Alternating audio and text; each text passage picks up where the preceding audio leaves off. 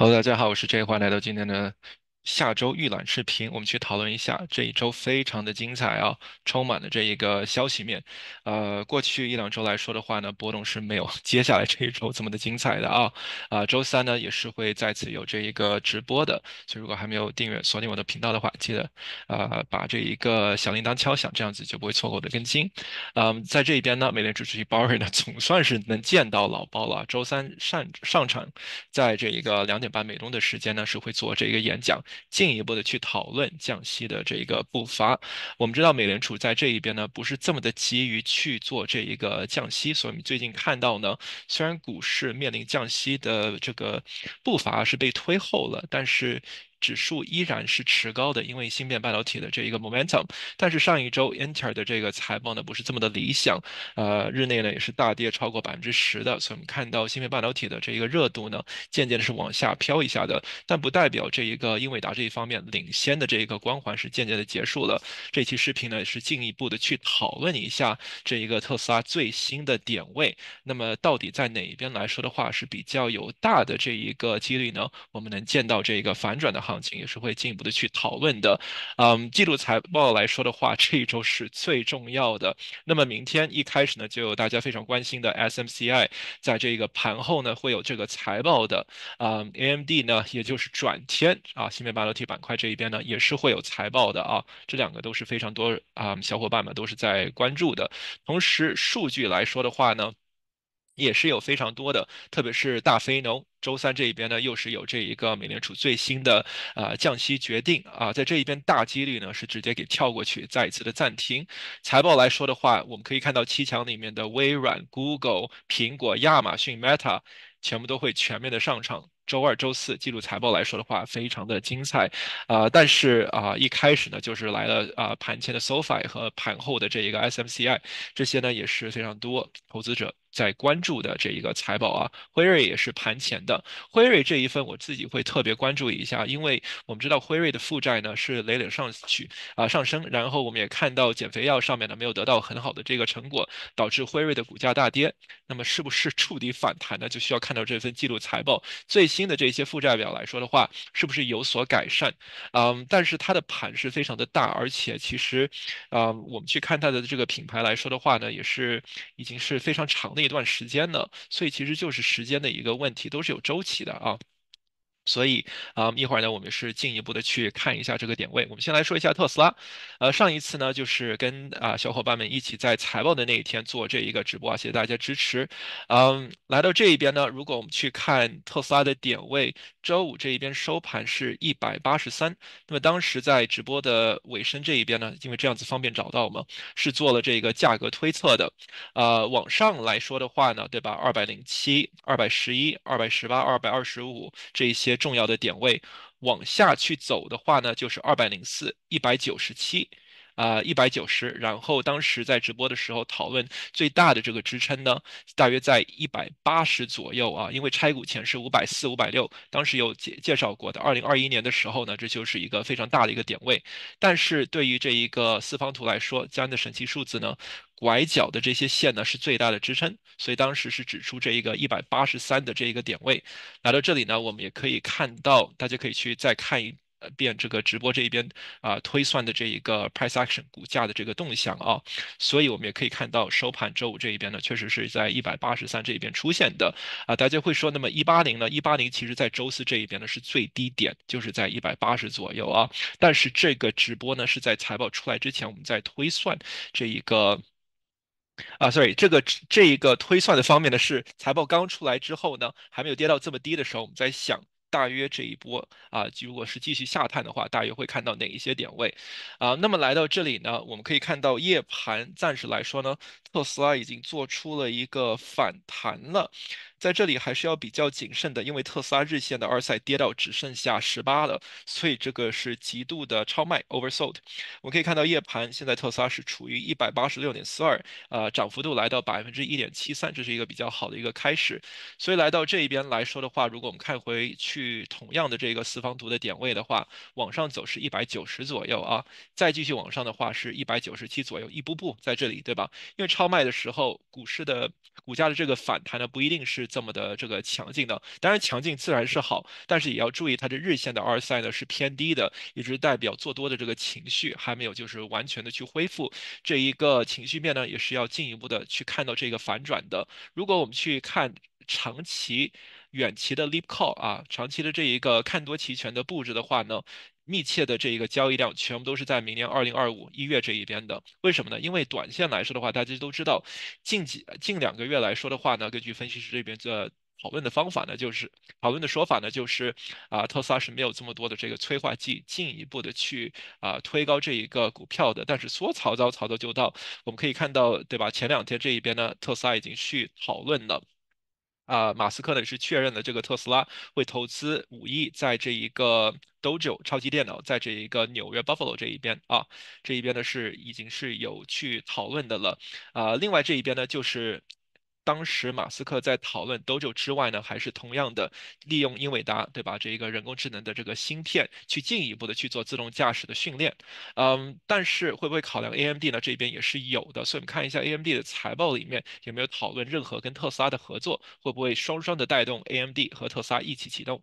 嗯，另外来说呢，就是下一个特斯拉的 iPhone moment 大的这一个点啊，我们可以看到这里有三万多个投票的，嗯。二零二五年是明年的，所以大家看到这个 leap call 呢，一月二零二五年的，就是往下一年去推的。当然啊，启动 Model 二，也就是这个 Project Redwood 这个项目来说的话呢，它是说年底，对吧？二零二五年年底开始生产，所以要小心，可能啊会看到有更加多的人呢去 roll 他们的 call 到二零二六年那边去。所以暂时六月和九月的下两个四五日的这个，当然三三月也有这个啊四五日，但是六和九月来说呢是远期看多期权。如果你会发现渐渐的多的时候，那就代表这个情绪面已经开始转了。现在五日均线、日线级别都还没有站上的话呢，就先要等它反转的这一个趋势呢，才能更加好的去布置这一个远期的看多。期权啊，这是我的一个看法。那么我们也看到，当股价跌到这么低的一个啊程度来说的话，因为 RSI 都跌到十八了嘛，我们看到方舟基金呢，ARK 木头姐姐这一边呢，是在前两天，在啊这个是前两天去讨论的时候呢，六千五百元价值的这个特斯拉的股票是买入的啊。同时这里也挺有意思的，我们可以看到它的一些卖出的啊，包括这个 Path Twillo TWLO 是卖出了不少啊，三十四。万和这个二十万的 DKNG 也是有卖出去一点的，这个可能是在套利，因为近期 DKNG 是有上去一点的。但是我们会看到，在买特斯拉也买这一个方舟的比特币的基金，比特币在这一个周末出来呢是一个热点，因为比特币再次站上四万二，四万二，所以就是看比特币能不能进一步的啊企稳，然后开始往上去走。压力呢，实体是在四万三千八左右。所以如果有反弹的话，看一下是不是周一的，周二会不会有这一种冲高回落的。风险这个是要小心一点的。周二通常加密币走的不是这么的理想，到周三呢又有所改善的，所以这一边还是在等以太坊的这个基金启动呢，啊，我们可能才能见到进一步的推高。回到标普五百指数啊，现在我在看 SPY，这个是它的 ETF 基金。那么可以看到蓝色的这一个趋势线呢。啊，基本上是锁定了之前这一边的这一波的这一个最高点位，但是现在已经突破了这个蓝色趋势线，那有一定的可能性往这一个五百整数的 SPY 标普百指数去走的，那这就需要苹果、微软的这一个财报呢，就是双双过去。啊，美联储主席鲍尔的这个演讲来说的话呢，也没有太大的一个利空，可能一份比较 neutral 中性的这一个讨论呢，会比较有意思。那么这一个周末出来的这一点呢，主要还是看着中东。这一方面的最新的动向，还有红海，啊，因为在这一边来说的话呢，是进一步的有纠纷的，所以我们看到石油呢是一直在这个冲高的，因为最近海运的这个价格又上去了，就害怕这个通胀回暖。那么上一次老包讨论的时候呢，就是说，咦，这个事情如果只是个别事件，那就不用担心通胀会不会回暖，但是他们会去看这一方面的。那现在来说的话，我们看见这些事情还是在那一边在进行中，然后有升级的这一种的可能性。所以到时候我们就要注意 VIX 恐慌指数在盘中对于大盘构成的一个威胁，因为在运费再次往上去走的话，通胀再次回暖的话，那会进一步的去推后这个降息的这个预期。因为如果是同时又降息啊，然后这一边的纠纷，然后我们看到通胀又回暖的话呢，这个对于啊整个打打击打压这个通胀的这个步伐不是这么的好啊，所以这个是值得去关注一下。那来到这里呢，石油是已经反弹到七十八点五一了。如果我们去看一下这一个压力来说的话，我记得是在八十附近的。把这一个去看一下啊，CL Crude Oil Futures，这个是期指，那么。对，就是在这个八十整数差不多这一边之前的一个压力，大家可以看到一二，然后这个反弹来说的话，基本上是一个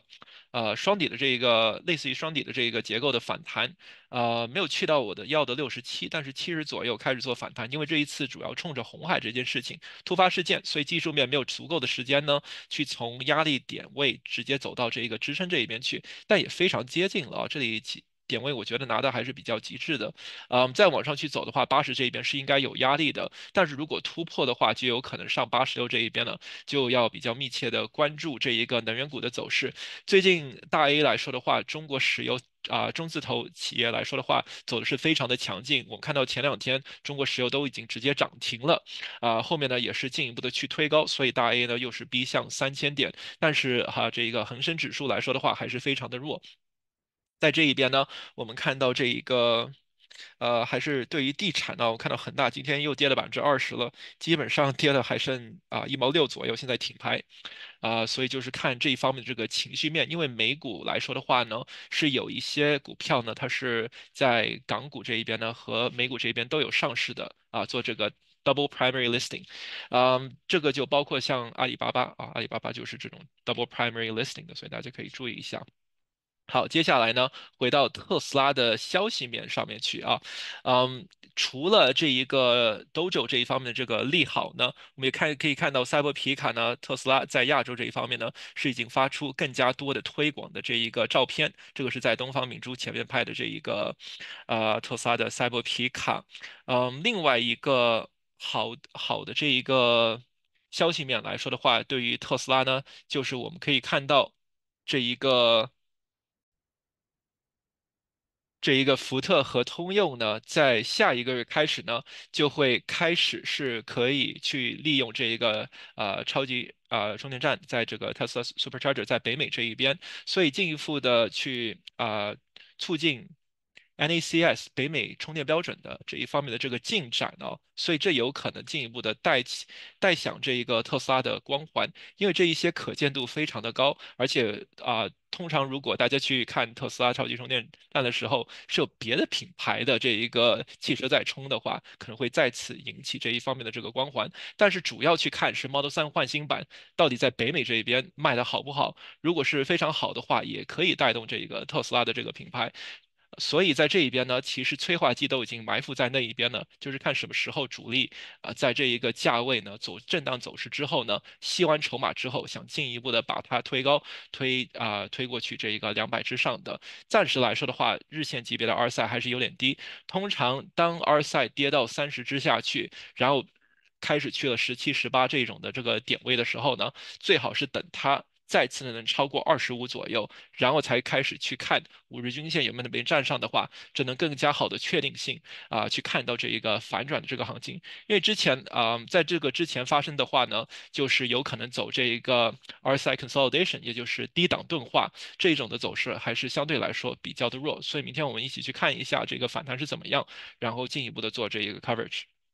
好，接下来我们去讨论进入这个财报之前，啊，SMCI 的这一个点位，那么 SMCI 基本上是在历史高的这一个位置啊，所以财报这一边来说的话呢，啊，因为 AMD 和英伟达都没有出来，但是我们看到台积电啊，ASML。最近芯片半导体的这一些，啊，财报来说都挺不错的，就是 Intel 这一边呢是没有这么的啊这么的这个理想的，所以我觉得 SMCI 来说的话，就是看财报走好的话，能不能把五百拿下来，如果非常好的话，就要小心 sell the news，然后呢是进一步的往上去冲，因为来到这一边呢，我们可以看到它渐渐的开始有一条趋势线是进一步往上的，所以财报呢如果能打开一条上上行的这一个。走势的这个隧道来说的话呢，可能冲高回落一下，再继续的往上去走，就是看能不能进一步的被打开了。我们把这条圈 line 留着啊，在财报的时候看一下五百能不能被拿下来。如果不行的话，啊，要守住的这一个点位呢，就是四百六十七这里附近。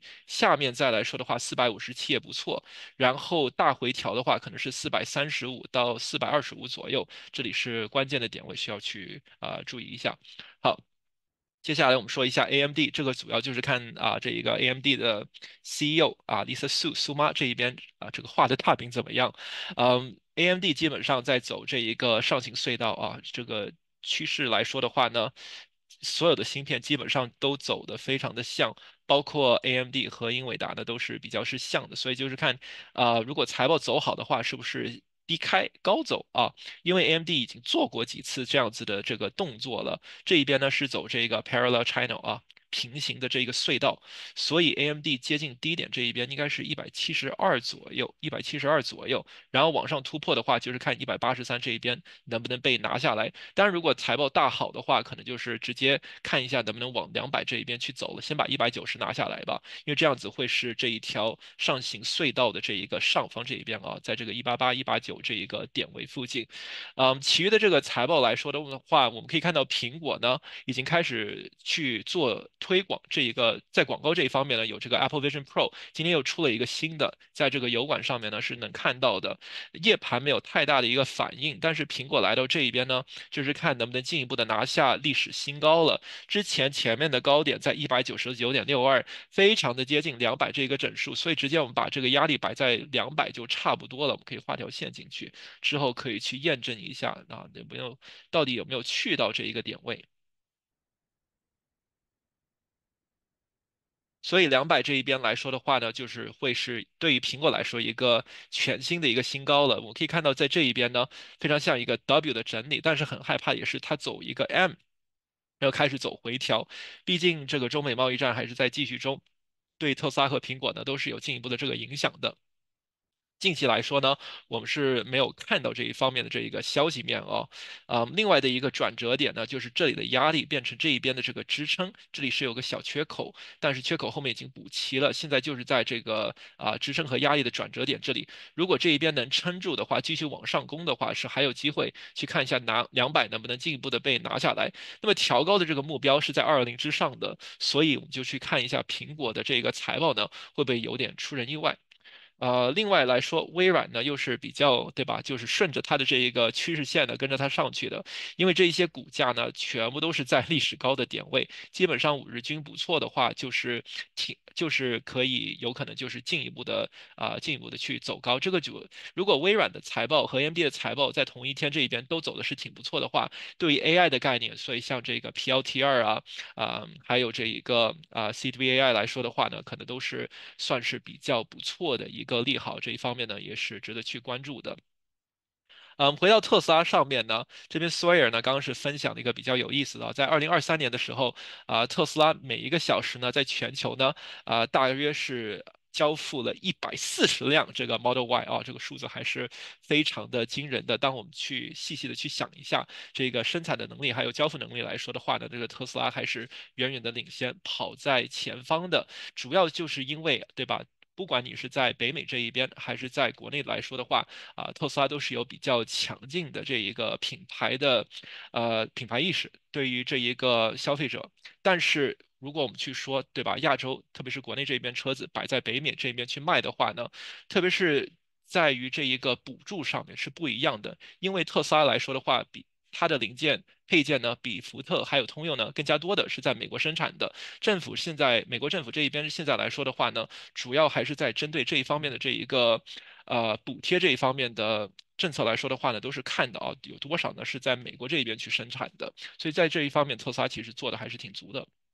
好，啊，数据面来说的话，我们更加接近的时候再进一步的去讨论，因为数据面真的非常的多，特别是这一个大非农的就业数据。但是我觉得在这里啊，周三这一边呢，老包说不好会透露一些啊，可以进一步的去考量。啊，我们上一周这一个通胀数据出来之后，我们看到 Nick T 也是进一步的在讨论，过去七个月里面，基本上六个月来说的话呢，都是在往这个。啊和这个百分之二通胀目标符合的这一个步伐，再进一步的去进展。那我们知道 Nick T，也就是 Wall Street Journal 的这一个记者来说的话呢，啊，通常呢有提前的去漏漏透露一下这个美联储的这个心声啊。毕竟为什么 Nick T 最近在这一边可能会发多一点呢？因为美联储这一周是在禁言期啊，直到这个老包发言的时候，所以我们可以去看这一个最新的这一个步伐。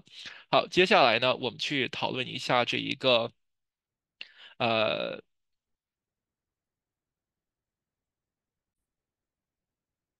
接下来我们去讨论一下这一个辉瑞的这个走势啊，在财报之前，那么辉瑞来说的话呢，还是主要这个减肥药这一方面真的是投资了不少，然后没有得到非常好的一个回报。在这一边大家可以看到底部放量的话，这个交易量日线级别算是非常的大。这一会儿呢又来到财报，财报两种走势，一个就是可以把二十六直接给做破了，这个叫做破底翻，然后呢就是做一个大底部，好好的去做这一个反弹了。但是来到这一边呢，如果我们去看月。线的话，这一边已经是在非常低的点位了，啊，这已经是连续的在往下走，这一个点位都已经比疫情的这一边的这个底部还要低了。之前，之前这一边最低点呢，月线级别是在二十五点七六左右，现在股价在二十七点四七，所以反向做多的这个盈亏比来说的话，只要负债这一边呢没有太大的一个意外呢，这里就是一个非常好的一个黄金底的一个机会。毕竟月线级别大家可以看到，这里是一个非常大的一个。支撑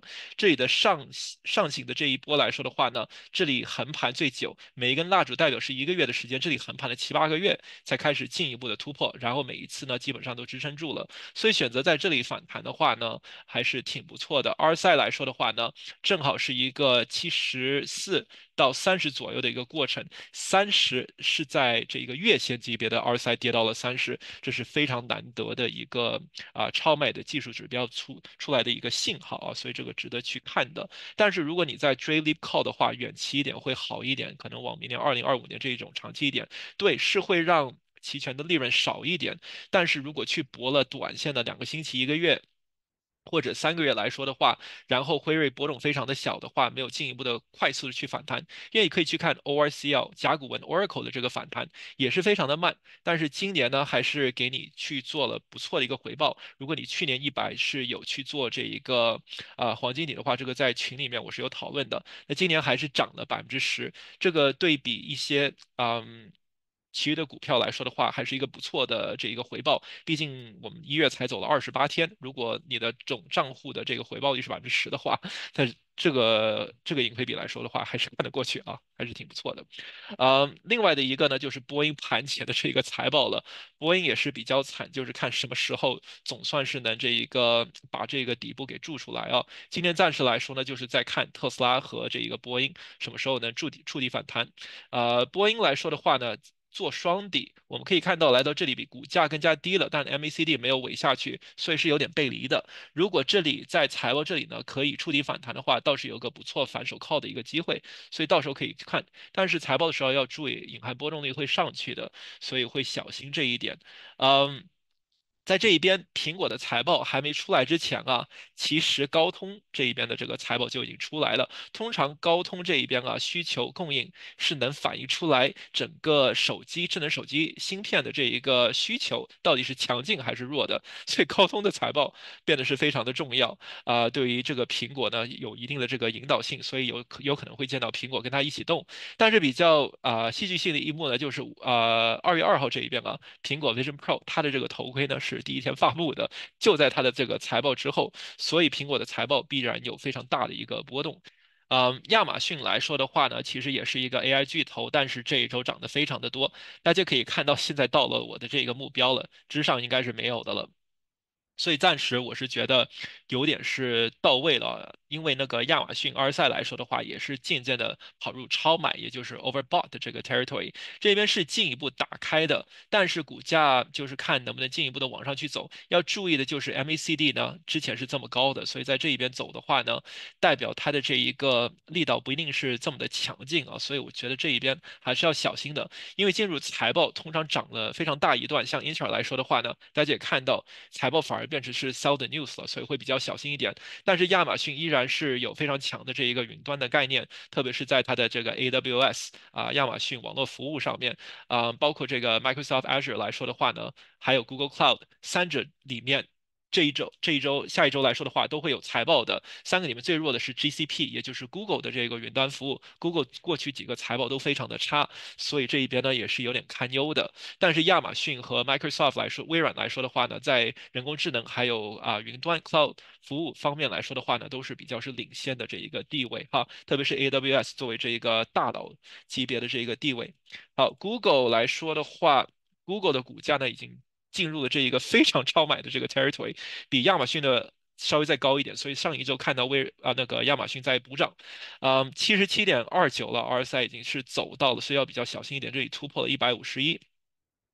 这些股价来说的话，因为它都是基本上呢是在这个历史高的这个位置，所以就是要比较小心，一不小心买在了这个最高点就比较危险的啊。还是那句话，对吧？强势股呢？如果这个 RSI 跌破了七十的话，或者站不稳五日均线呢，就是要小心它那个大一点的这个回调会不会来临，是这样子的一个看法。好，呃，最后呢，我们把这个 Meta 点评一下，就是看四百了。那二月二号苹果头盔发布的时候，Meta 也是有头盔的，同时呢，也是有这个 Llama 二的这一个呃大型的人工智能模式，所以其实它的这个 AI 概念还有各方面来说的话。催化剂呢，在这一边不少的，就是看四百能不能突破了。Meta 不巧也是在历史高的这一边的这个点位的啊，所以它的这一个 RSI 呢也是相当的高，也是在高档钝化七十七左右。这个跟刚刚看到的 Google 基本上是一样的，但是我觉得它的 MACD 反而没有这么大的一个背离的现象，我觉得这个涨幅度倒是比较能持续下去的。Meta 今年全年呢，我觉得有可能是进一步的去延续上一年这种非常强劲的一个行情。嗯，现在就是去看周三美联储主席啊鲍威尔到底对 QT 对这个收紧政策呢是怎么样的一个说法和看法的？我觉得这是这整场这一个降息会议最重要的一个看点。啊，欢迎大家到时候跟我一起去啊看这一个直播，到时候我会做出这一个即时的这个分析的。谢谢大家观看我的视频啊！如果想学习更加多股票这一方面的这个讯息的话呢，啊，有兴趣想加入我的这一个会员群的话呢，可以去扫这一个 Q 二微信的这一个二维码，这样子呢就可以去进一步的去咨询这一方面的这个消息面的。再次感谢大家的支持，我们下一期视频见，谢谢大家观看。